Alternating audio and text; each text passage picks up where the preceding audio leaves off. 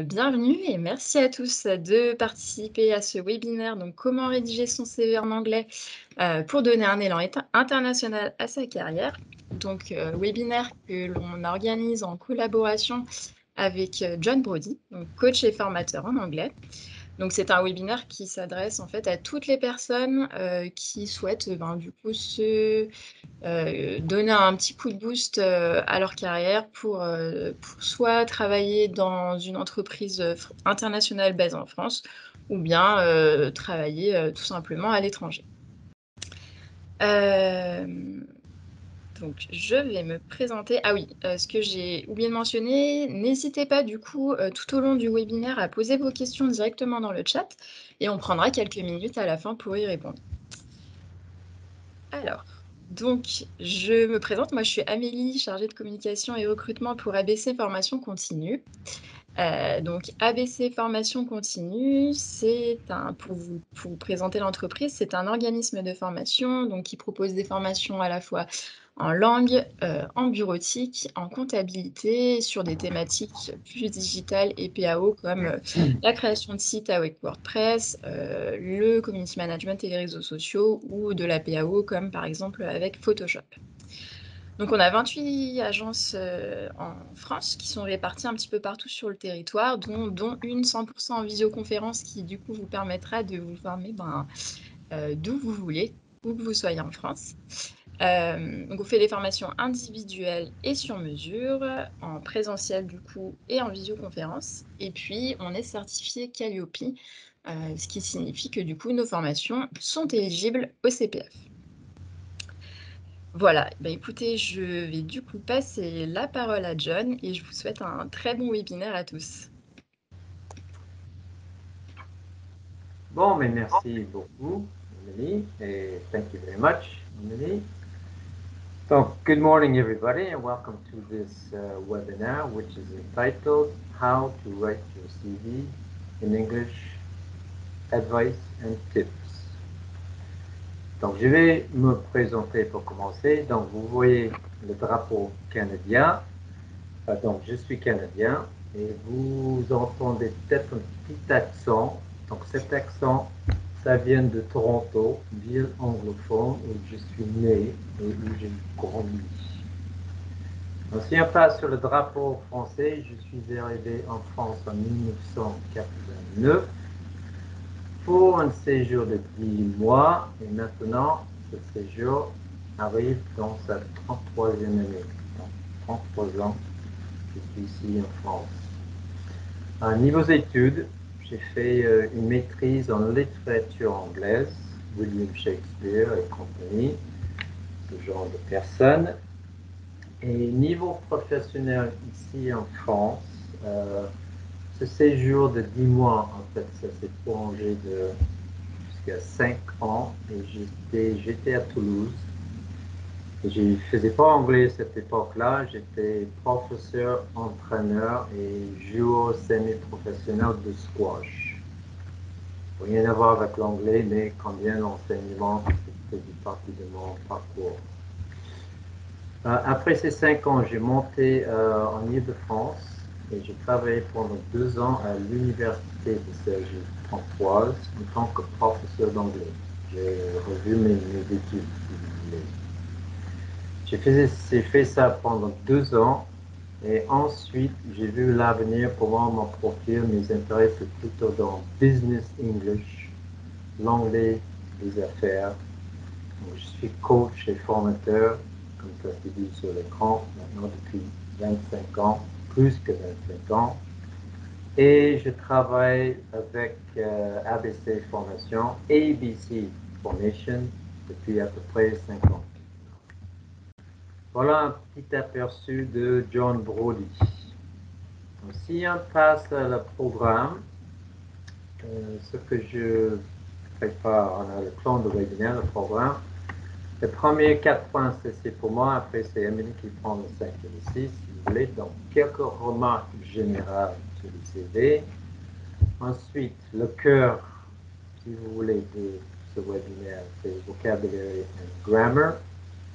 Je vais parler ensuite de ma méthode, comment je travaille avec quelqu'un pour rédiger, excusez-moi, le, CV en anglais, comment je procède, quelques ressources utiles pour terminer. Voilà le programme pour aujourd'hui. Donc, si on passe maintenant un préambule, donc je voulais commencer pour dire qu'il n'existe pas un CV type. Anglais, français, vous allez sur le net, plein d'avis divergents, des opinions, il faut mettre ça, il faut pas inclure ça, ça c'est bien, ça c'est pas bon. Donc, beaucoup d'idées sur un CV. Donc, pour nous, ce que nous allons voir, nous, aujourd'hui, c'est le CV 2022 en anglais par rapport à mes idées basées sur mes 25 ans d'expérience professionnelle, pendant lesquels j'ai travaillé avec plusieurs personnes pour les aider à rédiger leur CV en anglais. voilà pour le préambule. Donc, si on passe maintenant à quelques remarques générales. Donc, vous voyez la prochaine, voilà. Donc, des rubriques, des catégories de headers qu'on dit, qu'on trouve dans un CV. Donc, c'est pas, c'est pas très différent. C'est pareil quasiment que ce qu'on va voir en français. Et juste un point sur le. vous voyez que j'ai mis toutes ces informations doivent, devraient tenir sur une seule dans le mesure du possible. Donc, on voit, quand on voit le CV, c'est souhaitable de faire une seule. Toute votre vie professionnelle, personnelle sur une seule. Pas quelque chose de simple, mais il faut essayer de respecter cette longueur. Mais si vous avez fait beaucoup d'expérience, beaucoup d'études, ça peut dépasser une page. Donc, ce n'est pas quelque chose qui est gravé dans le marbre, une page, mais il faut essayer de rester, respecter cette longueur. Donc, juste euh, deux, trois points sur le, vous voyez le deuxième, le personal statement, déclaration personnelle. Je traduis ça comme ça. donc, les CV d'aujourd'hui, on va en haut Emily Lagoon en haut et en dessous, on a une sorte de synthèse d'une lettre de motivation. Donc ça, c'est un aperçu pour un recruteur. Il voit un, petit un paragraphe sur vous, personnalisé. Euh, c'est pas aussi technique ou professionnel qu'une lettre de motivation. C'est plutôt personnalisé, si vous voulez. Et je voulais juste dire que dans cette euh, déclaration personnelle, on peut mettre le jeu. On peut parler de jeu. Je suis à la recherche de, je veux relever, euh, relever un défi, etc., etc. Mais par rapport au reste d'un CV, jamais le jeu ou le moi. OK? No I, no me.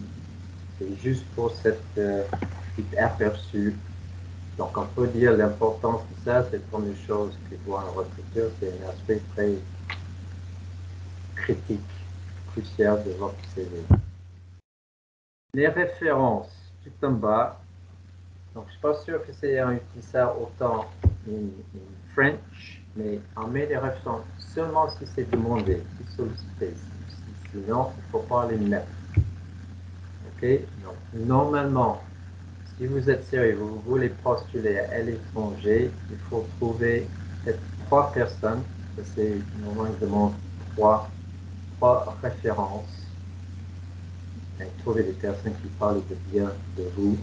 Imaginons, on veut postuler pour, euh, je sais pas, un travail comme un coach formateur, par exemple. Le qui veut dire, ah, il a des connaissances extraordinaires, pédagogie exceptionnelle, méthode irréprochable que de bien de vous. Ok, donc ça c'est ce que je veux dire sur le personal statement references. Par la suite, si on voit les 12 and don'ts pour les données personnelles. Next slide, voilà.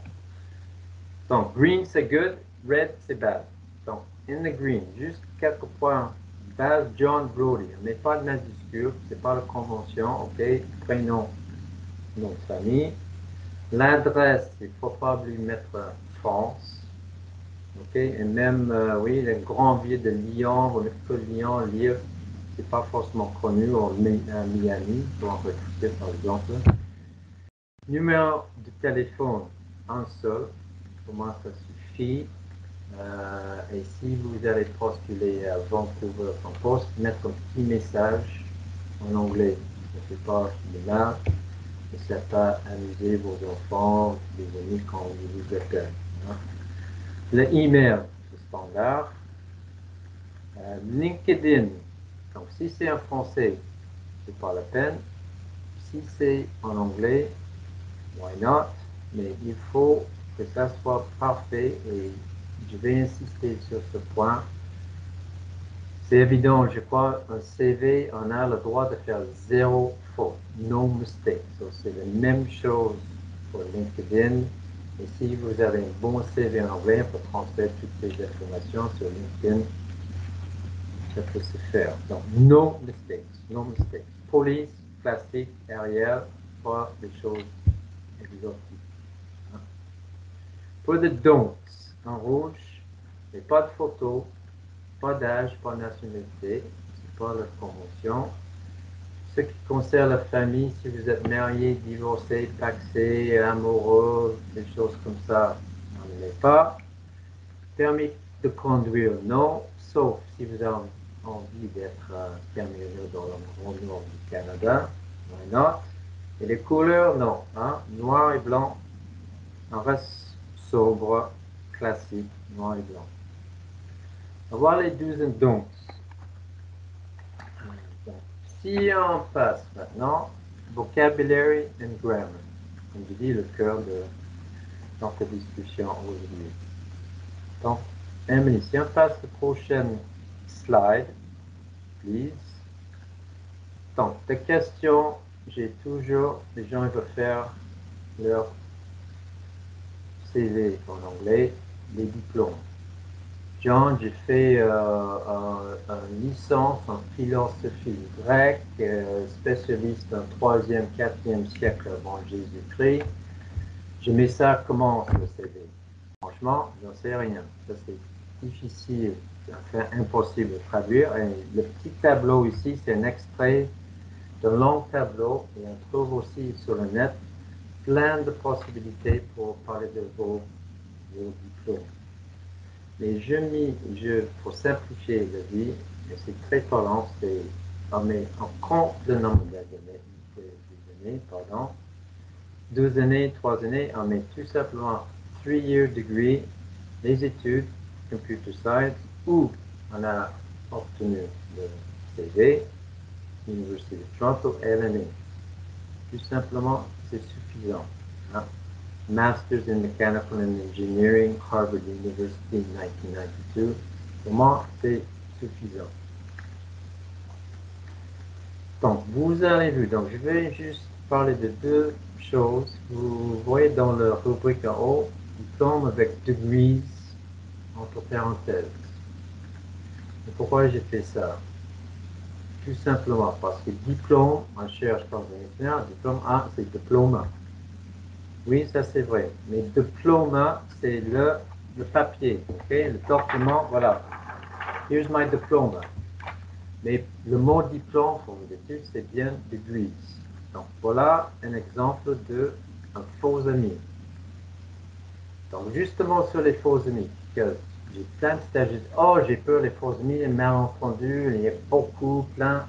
Ça c'est faux, c'est une idée reçue, il y a beaucoup plus de similarité que différence. Je vais insister sur ça pendant cette euh, présentation. Donc, il ne faut, pas avoir peur des faux amis. Il y en a très, très, très peu. Je veux voir, vous allez voir une liste tout à l'heure, mais il y a très peu.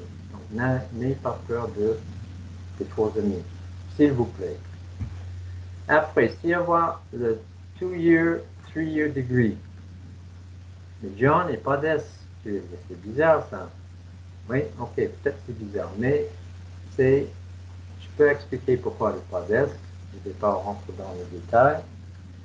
Mais juste une idée, je veux soulever ici, c'est que j'appelle la règle 3C.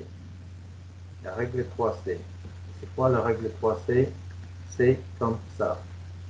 Donc, il y a certaines choses.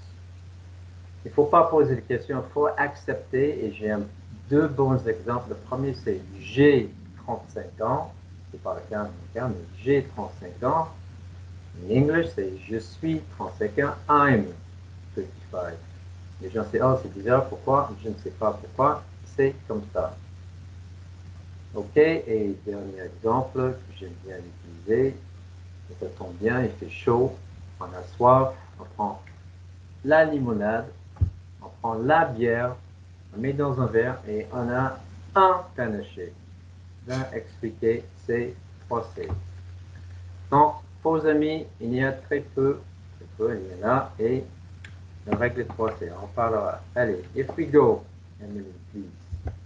The next slide. Allez, question, ok? Niveau, qu'est-ce que je mets sur mon CV? Très bonne question. Donc, il me semble, si on est sérieux, on va, envoyer votre CV Miami, à Johannesburg, je ne sais pas. C'est bien d'avoir fait un test qu'on peut mettre un chiffre TOEIC temps sur le, CV. Donc, recruteur, il faut qu'il cherche, sans doute, c'est ça vaut quoi, un TOEIC 900, ok, il dit, ah, cette personne, apparemment, il parlait anglais. En anglais. Faute de ça, on a une liste de possibilités, euh, fluent, advanced, proficient, etc. etc. Ça, c'est une deuxième possibilité. Donc, avant de continuer, c'est bel et bien de mettre, OK, fluent. Donc, il faut y croire qu'on est fluent. Parce que si on rentre à la maison, on a dans la boîte mail un message de quoi, Dublin. Quelqu'un dit Dear Mr. Brody, thank you very much for your interest in the position of financial director here in Dublin. We are very interested in your, in your profile. You know, please tell us when you are available for a video call, a webinar with the head, the human resources director, that we can talk about your the possibility of you coming to work with our company. Donc, on a entendu autre chose, on a décroché un entretien qui est le but, mais ça, il faut y croire que peux trouver maîtriser ce genre de situation. Donc, c'est bien l'action, c'est déjà une situation, un exercice pas simple dans ta propre langue, mais ça demande parfois un entraînement avec un coach ou quelqu'un pour améliorer, to practice this. Voilà pour le niveau d'anglais sur le CV. Si on passe à la prochaine qui a les différences entre British English et American English. Donc, on va sur le net, on voit des pages, des pages, des pages, oh, careful, etc. Encore une fois, non, il y a très peu de différences. C'est bon. Il ne faut pas paniquer, il y a 0,0, je pas de différence, c'est plutôt pareil, mais il y en a. Premier point, si je postule dans tous les pays, sauf les États-Unis, toujours pas les Américains, British English, en règle générale. ok? On utilise British English. Canada, c'est un peu un mélange des deux. C'est un peu spécial. So American English for the States, British English for everybody else. Mais si c'est pour Shanghai ou Rio de Janeiro ou pas, I don't know, another country that's not anglophone, ça, il faut chercher le meilleur choix. Hein. Donc, euh, si on passe, donc, on respecte ça, donc, un petit point sur les dates, je pense, prochaine slide, les... Euh, ah oui, pardon, pardon, pardon, c'est les termes du CV. Excuse me, my apologies. Donc, c'est quelques termes directement liés au CV and you can see the première ligne, CV, CV, pardon, French, the British, they say CV, and American, Canada as well, you say a resume, sans accent, pas la même prononciation, résumé. lettre de motivation, covering letter for the British, cover letter American, etc. Donc, il y a certains termes directement du CV qui sont différents. Maintenant, pour les dates, euh, français, on peut mettre le zéro, pas toujours, mais it's possible. In English, non. Si ça tombe sur le 0, 1, 2, on ne peut pas mettre le 0. Majuscule pour les, mois, les jours de la semaine, les nationalités, c'était toujours majuscule. Et British, American, c'est l'inverse. Okay? Le date, c'est après. Donc ça, c'est plutôt pas sur CV, mais euh, cover letter, lettre de motivation, on peut trouver le date. Je préfère ça 7 juin que les chiffres, hein, c'est mettre le mot. I think it's better, c'est mieux. Donc voilà pour les dates. Si on voit l'orthographe, donc quand vous allez taper votre CV en anglais, on tape le petit icône American English. Donc si c'est American English, c'est pour de New York, ça va souligner si c'est vous mettez British English. Donc on a cet outil qui vous aide facilement, même pas besoin de réfléchir. C'est bien. Pas encore, mais quand même, oui. J'ai fait une petite liste de quatre que je trouve le plus, les plus grandes différences, si vous voulez. Et peut-être juste pour le fun, si on voit le ISE ou le IZE, the British say ISD, Americans say IZE, ou les Américains say Z, I-Z-E. S'il y a un doute, le IZE, ça passe. Hein?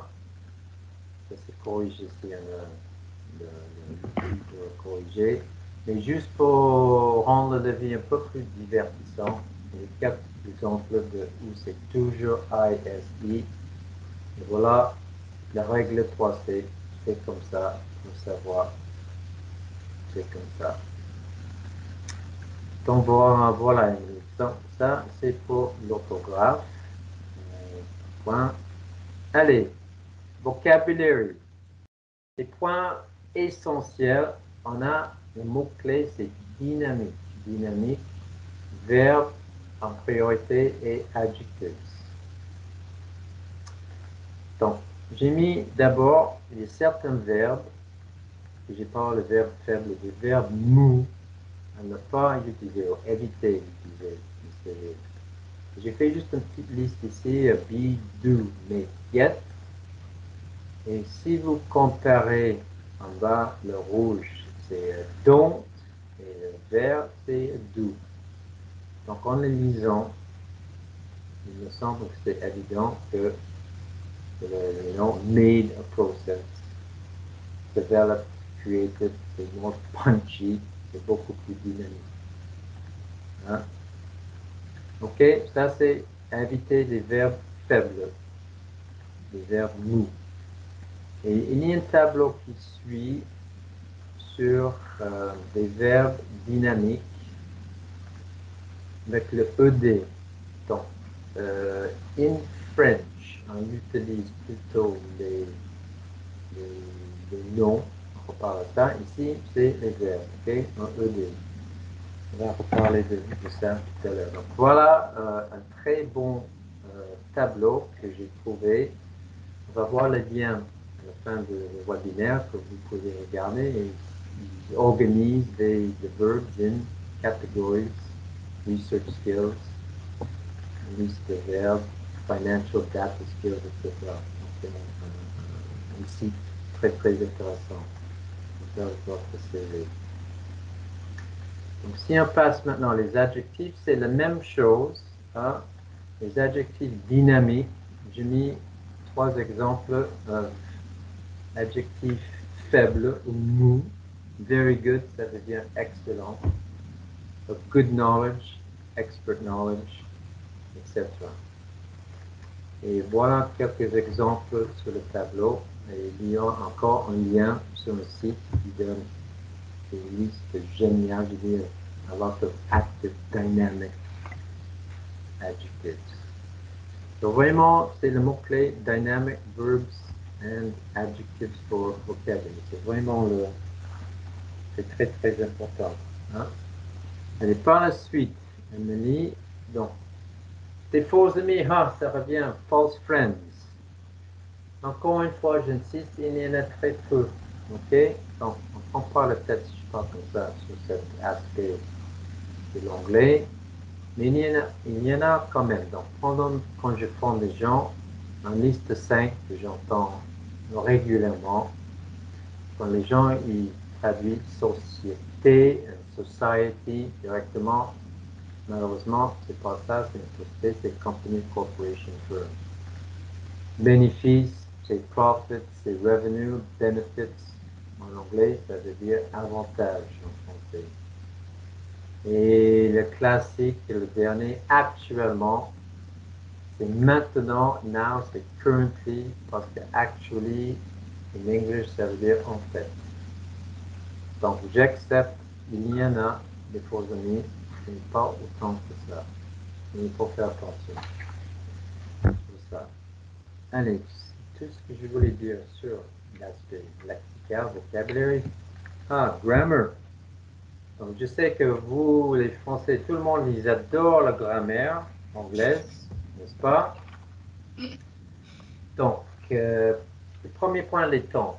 Donc, c'est très rare, même jamais, que je rencontre une personne. Oh, John, j'adore conjuguer les verbes. Donne-moi plein d'exercices. J'ai rien à faire ce week-end. Je vais conjuguer les verbes toute la journée en buvant mon panaché. OK? Donc, ça, on ne trouve pas ce genre de personne. Donc, pour simplifier votre vie, pour un CV, il y a deux temps à utiliser. C'est le prétérit, on a vu en liste avec le ED. Parfois les verbes irréguliers pour que vous amusez un peu plus. Et le présent. Donc, un point, peut-être le, plus grande différence entre le CV in French et en English, c'est la façon de présenter tout ce qu'on a fait dans votre vie professionnelle. Donc, en français, la tendance faire, on utilise plutôt les noms. En English, c'est verbs. Le prétérit ED ou irrégulier. Donc, voilà trois exemples. Trois exemples. Donc, en French, le conduite et coordination des opérations commerciales, ça devient drove Coordinated Sales Operations. Recrutement, ça devient recruited. Et formation du personnel et rédaction des consignes, voilà, trained staff, drafted. Et franchement, entre vous et moi, c'est mieux l'anglais, hein, c'est pas, j'écoute. C'est mon avis à. Donc, c'est la même chose quand on passe pour ce qu'on fait actuellement, on bascule au présent. Le present simple, on va sur le prochain slide. Ok, responsabilité, non, on trouve le verbe et c'est manage. Participation, participer. Donc ça, c'est la plus grande différence. Donc on est à fond, si je parlais comme ça, avec verbs. Hein, on est aussi verbs. Donc c'est ça, c'est tout ce qu'il faut savoir pour les temps. Très simple, I hope. Et après certains détails maintenant, le prochain slide, ah, punctuation. Ça, donc j'existe comme le CV, des opinions très divergentes. Donc, je vois un CV, c'est pas français, English, it's not normal English. C'est une liste de phrases, locutions, c'est pas les phrases dites normales. Donc, on peut se débarrasser de plein de, de ponctuation, si vous voulez. Hein. Donc, en minimiser la ponctuation, la virgule, si on revient sur les deux, la virgule, il faut séparer trois idées, define, comma, develop and implement the clinical trials, tout à fait normal, no problem. Si on choisit un bullet point qu'on a fait Emily et moi pour cette présentation, c'est bullet point partout, mais très mignon, why not? Et si on souligne ou pas les parties majeures, un peu, c'est un peu un choix. Et pour terminer de ponctuation, donc je reviens sur mes études il y a quelque temps maintenant à la fac. Mon professeur, c'est dès que vous mettez trop de ponctuation, des, des points virgule, des points, exclamation mark, des points, ça montre que vous n'êtes pas clair. J'ai toujours cette idée en tête que c'est que moi. Et ce manque de clarté n'est pas besoin dans le CV. Ça, rend toutes les, lignes plus lisses et même, je crois, je n'ai pas vu notre présentation avec le ici, très peu de ponctuation. Le slash, j'aime pas dans un CV, par exemple, mais it's your choice. Oui? Donc, un minimum de, minimum de punctuation, que ce soit 10. Allez, ici, on passe maintenant à prochain point qui est oui, quatre remarques diverses. Donc, adjectives ou en place l'adjectif. Donc, ici, je parle de crêpes. On a une crêpe, faut mettre à cuire le crêpe un côté, et puis on le retourne l'autre côté. comme ça flip-flop. Et même flip-flop, c'est are you, c'est you are, are you pour les questions. Donc on fait un flip-flop dans procédure complexe. Flip-flop, c'est complexe possible. Ça change de place l'adjectif devant. Hein? Analyse précise, precise analysis, analysis, la même chose. Chef de projet, on ne veut pas le 2, allez, le plat, project leader, etc.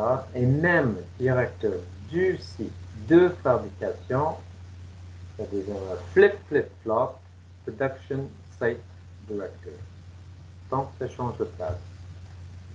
J'ai ajouté aussi des formes composées, c'est un peu partie grammar, partie vocabulaire. Ça se voit assez souvent avec une trait d'union. N'hésitez pas, you don't have this idea really en français. Very highly skilled c'est un autre aspect de grammaire vocabulaire. Et si on passe à un autre point, c'est les adverbes. C'est la même idée, positionnement. Donc, les adverbes, excuse-moi, on va trouver ça plutôt dans euh, l'acte de motivation. Non, il n'y en a pas dans, un CV, c'est plutôt verbs, adjectives. Donc, juste un exemple, connaît très bien les techniques. Ça se passe à la fin de la phrase. Adverbs, normally, à la fin de la phrase. Parfois, on sujet les verbes. Donc ça, c'est moins important. Le dernier point que je voulais soulever, ah, dependent preposition, ça, ça rend fou les gens, ok? Parce que juste euh, the prepositions, c'est peut-être l'aspect de l'anglais, pour vous, vous voulez améliorer votre niveau d'anglais, c'est sans doute l'aspect le plus difficile quelqu'un qui veut apprendre l'anglais et vous connaissez peut-être le look for, look after, look under, look around. On ajoute une préposition, ça change de sens de mot. Et il y en a des milliers des milliers que les anglophones utilisent tout le temps. Donc ça, c'est un aspect difficile en anglais. Quand on parle d'un CV, ce qu'on appelle dependent preposition, c'est la préposition qui va systématiquement avec un verbe. Donc, si on focalise sur le deuxième, pendant mes cours, participer à, donc été vous, vous utilisez du use English a lot in your job. Ah yes, I participate at a lot of meetings in English. J'ai ah non, c'est pas at. Ah bon, c'est pas travailler à la maison, c'est pas at home, at work? Oui, mais dans ce cas, non. Donc, il ne réfléchit pas, ah, aller à Paris, je vais à la cantine, ah, c'est tout. C'est tout. Non, non plus. Donc, systématiquement, c'est craquer les têtes et il commence à me balancer toutes les prépositions qui existent, même d'autres mots, pour essayer de tomber sur le bon. Donc, le bon, dans ce cas, c'est participer in organizing. Donc, pour savoir, c'est pas évident, c'est, ça dépend de. Tout le monde dit en, of, of, of, tout le temps. Non, c'est on. C'est, encore le 3C, c'est comme ça. Et juste un dernier point, niveau grammaire, systematically, si on met un dependent preposition, participate in, on met un verbe, c'est systématiquement, c'est forme ing.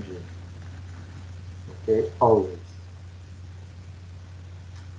Donc voilà, Emily, ça c'est pour vocabulaire et la grammaire qu'on peut trouver euh, ici, en un résumé. C'était la méthode, ma méthode pour, j'ai quelqu'un qui, vient vers moi et dit, ok, je veux rédiger mon, CV anglais. Donc j'ai divisé ça en six étapes que vous voyez bien sur l'écran. Ça commence avec un, CV en français. Donc, il faut avoir un CV que vous êtes prêt ou prête à envoyer dans une entreprise en France pour postuler pour une poste. C'est-à-dire le CV, le fond, le forme, contenu, mise en page, tout est parfait. Donc, on va commencer avec ce, ce, document, le de base. Et la deuxième étape, c'est de le traduire, ok, pour faire un premier ébauche. Donc, il y a une idée reçue, à mon avis, traduire, c'est pas bien. Faut réfléchir, penser toujours en anglais. C'est faux. Vous maîtrisez très bien votre langue maternelle et vous allez voir quand on traduit, 85-90% les choses sont pareilles. Donc, il faut voir le verre moitié plein, même plus que moitié plein, et baser vos idées sur le français, ok, chercher le mot sur un dictionnaire, etc., ok, il y a beaucoup plus de similarités entre les deux mots. Donc, on va faire tout seul, on va traduire, on va lutter, on va ok, chercher les bons mots, et en faisant ça, c'est une sorte de réflexion, même sur le CV en français, qui reste à être modifié à la fin de cet exercice. Et fait un effort de mettre ça en anglais. ok? Et ça soulève des questions, des OK, je suis pas sûr si je mets ça, comment traduire ça. Bon. Donc, on a fait à la coach. Moi, en l'occurrence. Donc, vous venez avec les deux documents, French, English, je regarde le français et j'ai discuté avec vous. On fait un échange, ça peut durer même une heure, deux heures, je ne sais pas. Vous parler de vous, on discuter de votre parcours professionnel. Peut-être que je comprends bien le, contexte avec le, le CV en français. Puis on voit ensemble une réflexion sur ce que vous avez mis en anglais. Et ensemble, après cette réflexion, on va modifier corriger, améliorer ce document pour traduire euh, la deuxième ébauche. Mieux, a priori, que la première ébauche. Donc, avec ce document, ce n'est pas encore fini, ce n'est pas parfait. Je ne peux pas prétendre faire quelque chose de parfait la première fois. Donc, pour partie 4. Il faut faire appel à une troisième personne même deux, mais au moins une personne bilingue, au mieux. il faut que cette personne maîtrise les deux langues, excuse Avec expérience de professionnel, ça serait mieux. Donc cette personne avec vous fait la même chose, il vous redit, et ah, ça c'est, vous voulez vraiment dire ça, et voir une faute. Ok, donc c'est une deuxième réflexion, une deuxième corriger, modification, improvement of your CV. Et ça, avec ça, on a troisième ébauche. OK? Et avec leur relecture, hein, c'est important, on revient sur cette idée zéro faute. A vous, il y a le coach, une deuxième personne, une autre personne qui relie d'être sûr que de no mistakes. No mistakes. Donc, partie 4, c'est comme un, camembert. Hein? Nous sommes ici en, France. Et bien affiné, camembert, c'est un bon, très bon produit. Maintenant, on va prendre du recul. Et on va prendre, euh, pas le camembert maintenant, parce qu'avec le camembert, c'est bien d'avoir un bon verre de vin rouge, peut-être. Donc, prend le recul. C'est, votre CV, c'est une bouteille de vin. On met la bouteille à la cave et on oublie quelque temps que ça prend l'âge, que ça s'améliore. Donc, vous prenez votre CV bouteille de vin, vous le mettez ça à côté dans un tiroir. Vous ne le regardez plus, vous allez partir en vacances, vous baladez vos chiens, hein, etc. Vous faites autre chose et vous laissez ça à côté 10 jours, 2 semaines, je ne sais pas.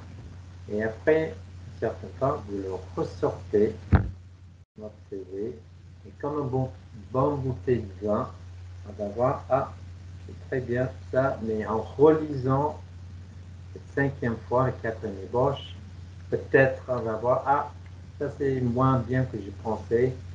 On peut imaginer qu'il y a quelques changements à faire. Ça peut se faire.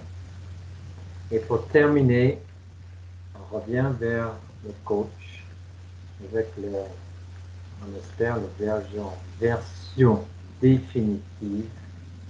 On rediscute, on dit OK, je suis prêt à envoyer euh, ce document, le mettre en vente dans le monde entier. Voilà ma façon de faire euh, je travaille avec les gens.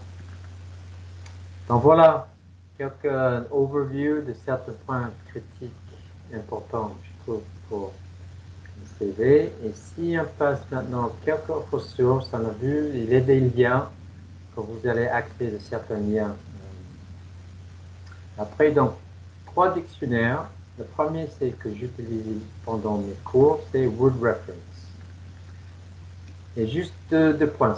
Il y a d'autres d'autres dictionnaire de ce genre. Donc, si, ici, on met le word in word reference, juste le word improve, donc on trouve un temps seulement improve, on clique et voit en définition, si vous voyez, j'espère bien, euh, la definition, oui, à côté.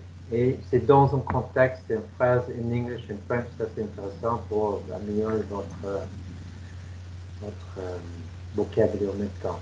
Donc, tout en haut, Emily, a une petite icône, peut cliquer pour un accent pour écouter. Donc, il y a US accent. Icône à droite, voilà, accent. English, UK, même Jamaican, un peu Scottish. Donc, ça peut être intéressant. Et si on va, Emily, s'il vous plaît, jusqu'en bas, on a deux grosses catégories en bleu, normalement, non, encore plus bas, voilà. Donc, un improve, donc c'est en anglais et en français. Donc, si en français, on cherche, ah, c'est plutôt, je ne sais pas, un bonnier, c'est normalement, c'est plus le contexte, on peut cliquer dessus pour peaufiner les recherches.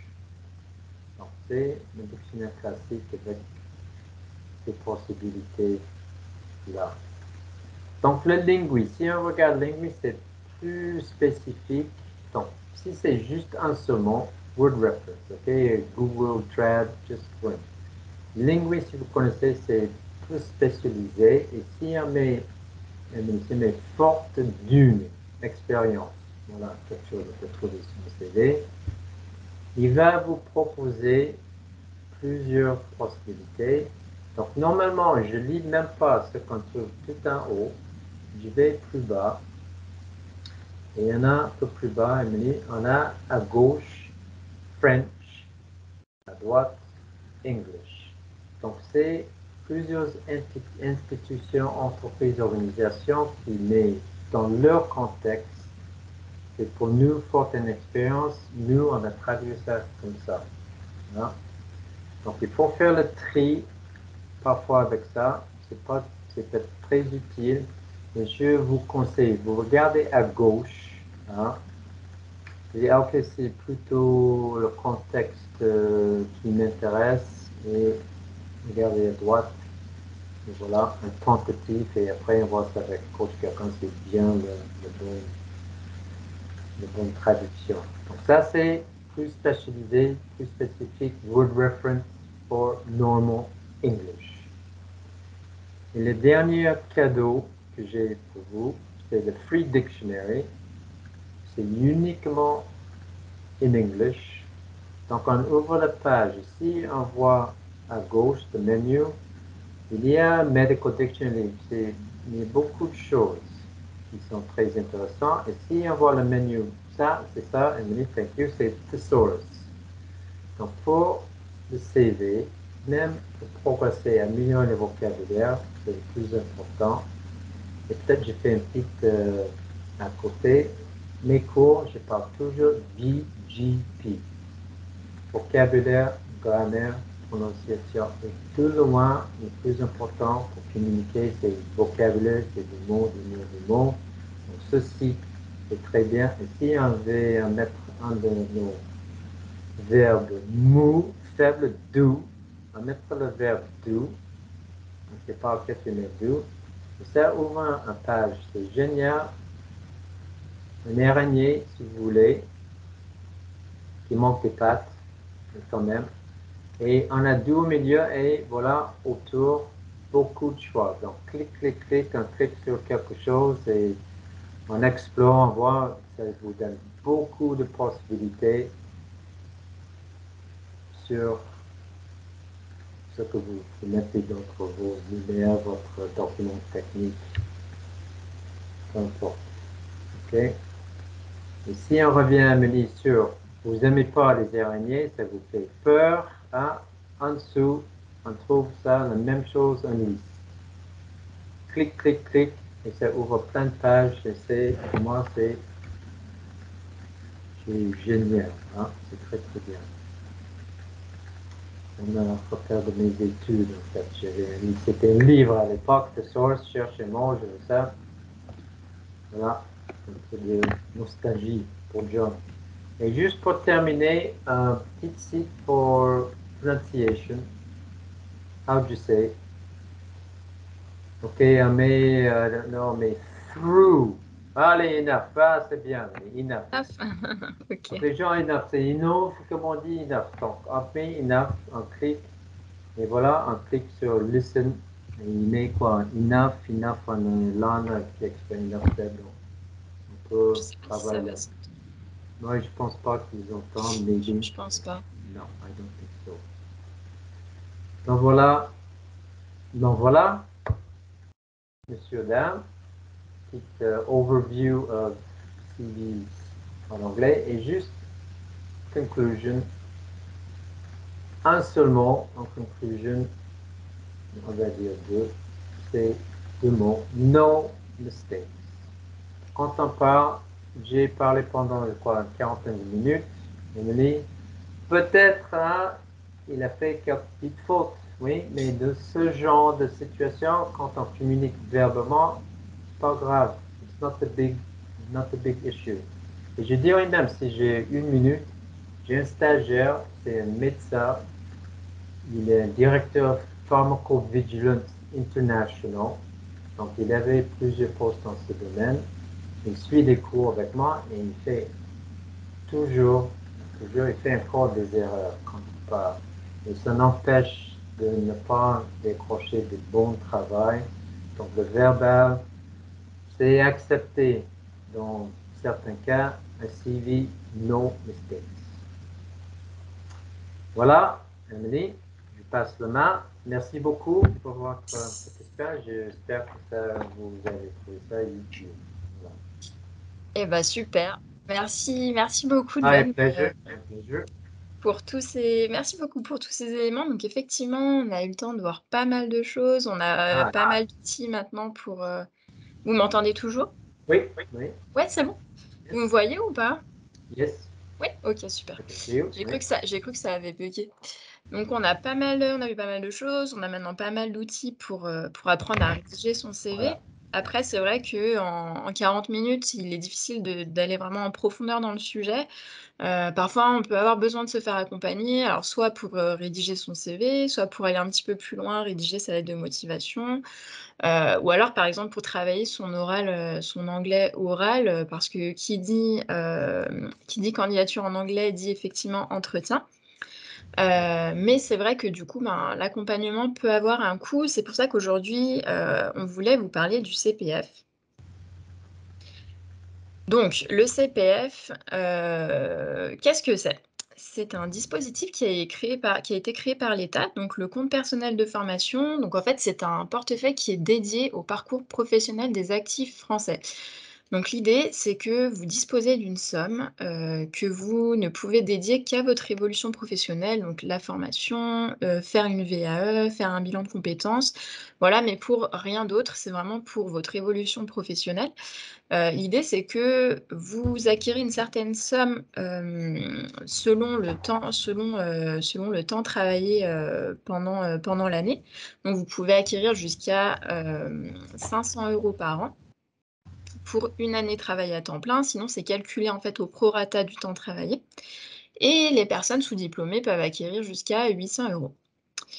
Alors, qui est-ce que ça concerne? Euh, Les salariés, donc, euh, ce qui est bien, c'est que les salariés peuvent, euh, si par exemple la formation, euh, le bilan de compétences ou autre se fait hors temps de travail, ils n'ont pas besoin de l'accord de leur employeur. Donc ils peuvent se servir de leur CPF, de leur budget CPF, voilà, de leur enfin sans avoir besoin d'en parler à leur salarieur à leur employeur, je vais y arriver. Euh, les travailleurs non salariés sont concernés également. Donc, par exemple, si vous êtes euh, auto-entrepreneur, euh, indépendant, etc. Donc, c'est assez récent, il me semble, mais vous avez également du budget CPF. Les demandeurs d'emploi sont concernés également, puisque du coup, le budget est calculé selon les années, les heures travaillées les années précédentes, le temps travaillé les années précédentes. Et la fonction publique est également concernée, mais sous certaines conditions euh, et à ce moment-là, il faut vous rapprocher du coup de votre employeur pour, euh, pour les connaître. Alors, euh, qui dit CPF dit malheureusement arnaque. je pense que vous êtes nombreux à, avoir reçu soit des SMS, soit des appels vous disant que votre CPF allait expirer, etc. Voilà, c'est complètement faux. Donc, bien faire attention à tout ça, à toutes ces arnaques, parce qu'il y en a de plus en plus. donc, quelques conseils en fait euh, par rapport à ça. Donc déjà, il existe un seul site officiel, c'est le site moncompteformation.gouv.fr. Donc ça, c'est le site de l'État. C'est le site sur lequel euh, vous allez donc pouvoir vous connecter, créer un compte très rapidement en rentrant quelques informations et votre numéro de sécurité sociale. Et c'est sur ce site que vous aurez un espace qui vous permettra d'accéder à votre solde de CPF et donc savoir votre budget, euh, à combien, à combien s'élève votre budget. Donc c'est vraiment le, seul endroit sur lequel, euh, sur lequel vous pouvez euh, disposer de cette information-là. Euh, deuxième élément, il faut choisir un organisme de formation qui est sérieux et certifié Calliope, comme par exemple ABC Formation Continue. Pourquoi? Parce que les organismes qui ne sont pas certifiés Calliope, ça veut dire qu'ils n'ont pas l'agrément pour pouvoir vendre des formations qui sont éligibles CPF. C'est-à-dire que vous ne pourrez pas du coup financer votre formation avec votre budget CPF. Enfin, si jamais vous êtes en lien avec un organisme de formation ou autre euh, et que voilà, vous, au sujet de votre, CPF, vraiment, euh, ne fournissez jamais votre numéro de sécurité sociale à votre interlocuteur vraiment sous aucun prétexte parce que euh, qu'il n'y a, pas besoin de, le donner c'est une information confidentielle et vous avoir pouvez avoir accès à votre compte CPF. Alors, pourquoi je vous parle du coup de tout ça, du CPF euh, parce que du coup, ABC donc, propose, euh, ABC Formation Continue propose des formations en anglais sur mesure, donc qui peuvent répondre à vos objectifs, quels qu'ils soient, donc euh, que vous ayez envie donc, de perfectionner votre niveau en anglais à l'écrit, à l'oral, dans le cadre de l'anglais du quotidien, simplement pour voyager, ou de l'anglais professionnel comme on l'a vu aujourd'hui, par exemple hein, pour créer votre CV, une lettre de motivation, pour vous entraîner pour un entretien. Euh, voilà, c'est possible. Donc nous, on propose des formations qui sont individuelles. Donc vous travaillez sur vos objectifs euh, avec un intervenant donc euh, en one-one, donc un intervenant expert comme par exemple John aujourd'hui. On s'adapte du coup à votre planning, à vos contraintes. Donc, vous choisissez le jour et l'heure qui vous arrange dans la semaine. Donc, en général, nos formations, elles s'étalent sur une durée de trois mois. Et du coup, vous choisissez les créneaux euh, chaque semaine euh, qui, euh, qui vous arrangent pour que vous puissiez du coup vous, vous former. On nos formations s'adaptent à votre budget CPF, donc quel que soit votre budget, qu'il soit, soit enfin, que vous pensiez que vous n'en ayez pas assez, vous en ayez beaucoup, on trouvera toujours une solution adaptée, pour que vous puissiez, voilà, trouver le pour répondre à, du coup, à votre à votre besoin. Et à la fin de la formation, vous obtenez une certification, donc soit TOEIC, soit Chloé, donc qui vous permet d'attester ensuite de votre niveau en fin de formation. Voilà, donc moi j'ai fait le tour de ce que je voulais dire. Euh, donc, on va passer aux questions. J'ai vu qu'il y en avait quelques-unes du coup dans le chat. Donc, alors. John, question pour vous. alors, il y a Sébastien qui a posé plusieurs questions. Il a d'abord demandé si euh, il pouvait vous envoyer votre, son, son CV actuel du coup. J'imagine en anglais. Euh, bon, oui, pourquoi pas. Il est, je crois, il est mon Oui, oui. c'est ça. À la fin, de toute façon, on donnera les coordonnées de, chacun. Et si vous voulez, et puis euh, Sébastien, je mettrai en contact euh, with you et puis on discute euh, ce que vous voulez. Et si on passe par ABC Formation ou comment s'organiser, ça, ça me pose no problem, Sébastien. Alors, super, il demande, euh, il demande également pourquoi on ne parle pas de, pourquoi on ne peut pas mettre de couleur euh, ou mettre la nationalité sur son CV, sachant qu'il dit que lui, dans son cas particulier, il est, euh, il est, il parle couramment anglais et qu'il a, il a, il a la nationalité américaine du coup. Donc, il parle des Sébastien, c'est l'américain qui parle. Non, mais quand je dis nationalité, ça c'est les, conventions. Donc, si vous voulez mettre votre nationalité, normalement c'est, on ne le met pas. It's not interdit de mettre votre âge, ce n'est pas de convention. Donc, en général, on ne le met pas. Je ne vois pas vraiment l'avantage de mettre sur American, Canadian ou pas, mais ça c'est vous de voir. Mais, ce n'est pas de convention, je peux dire pour la nationalité. Et l'autre question, c'était l'âge, non C'était euh, c'était par rapport aux couleurs, du coup, sur le CV. Mais ça, c'est un grand choix. Je dis classique, pour moi, c'est noir et blanc. S'il y a trop de couleurs, enfin, pourquoi pas, si vous êtes dans le graphic design ou quelque chose, que... mais après, oui, c'est pour moi, comme je dis au crayon de c'est mon point de vue, c'est mieux, à mon avis, de rester noir et blanc simple, mais les couleurs, si vous voulez mettre des couleurs, subtilement, peut-être qu'il faut voir ensemble, Sébastien, si voir votre CV, c'est ok, c'est pas, c'est pas distrayant, euh, why not? C'est pas un interdit. Mhm. un interdit. Ok, très bien. Euh, alors, j'ai une question par rapport également au, euh, au traducteur Deep, DeepL. Euh, Qu'est-ce que savoir ce que vous en pensiez? Donc, DeepL, je crois que c'est la même chose, c'est lié à Lingui. D'accord. je prends le ding de DeepL, Lingui, enfin, j'ai quelqu'un de ça, il est en moi, mais ça, ça DeepL, c'est quoi, c'est DeepL, en fait, en fait euh, c'est Lingui. C'est la même chose. Non, c'est très bien. C'est un outil intéressant. Yeah, yeah, yeah, yeah, ok. très bien. La plupart des dictionnaires qu'on trouve sur le, le, web sont, sont bien. Ok, super. Euh, qu'est-ce que vous pensez de... Alors, je ne sais pas si vous connaissez l'application Grammarly, du coup. Non.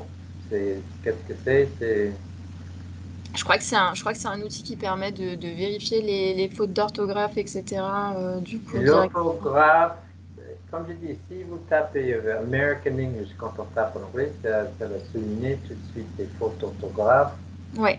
Grammar L, non je ne connais pas grammaire. Pour spelling, orthographe, ok, mais grammar, il ne va pas forcément voir tout ce qui est faux grammaticalement, si le mot est bien. ok. Donc ça, grammar, je me méfie de les sites qui disent faut corriger le grammaire. Ah oui, alors en fait, euh, Sébastien a précisé en disant que ça corrige voilà, les, la, la, la, la, grammaire et la, ponctuation du coup. Il faut que je le voie, mais je me méfie je me méfie de ce genre de site. Vocabulary, yes. Grammar, mm -hmm. comme ça, en général, non. D'accord. Euh, D'accord.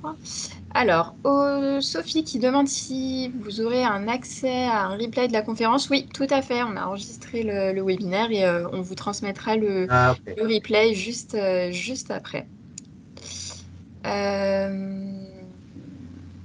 voilà, bah, écoutez, il n'y a pas, pas d'autres questions du coup. Alors, j'affiche nos coordonnées. Donc, si jamais euh, vous souhaitez ben, contacter John dans le cadre d'une... Vous avez quelques petites questions complémentaires dans le cadre d'une candidature en anglais, vous pouvez le contacter à john.brody.orange.fr. Et si jamais vous souhaitez euh, euh, me contacter dans le cadre d'une formation CPF, voici du coup mon adresse, mon adresse email. ah, je crois que... Ah non, j'ai cru qu'il y avait une autre question. Euh, bien écoutez, merci beaucoup en tout cas John euh, pour ce, pour ce webinaire. Merci, merci à tous euh, d'y avoir participé. Donc, je, on vous transmettra du coup le replay dans d'ici en début de semaine prochaine, je pense. Et puis, en tout cas, n'hésitez pas à nous contacter si jamais vous avez la moindre question ou le moindre, la moindre, voilà, le moindre besoin. Merci beaucoup. Merci, thank you. Thank you, bye bye. Bye bye.